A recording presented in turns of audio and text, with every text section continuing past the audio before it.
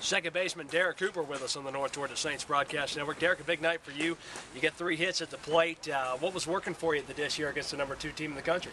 Um, I was just seeing the ball a lot better today. I've been, been struggling lately and just kind of relaxed a little bit more up there, and uh, I was able to get some, some you know, hits, but not the greatest. They, they fell. For your team as a whole, how important was it to bounce back here tonight after traveling up to UNC Pembroke this weekend?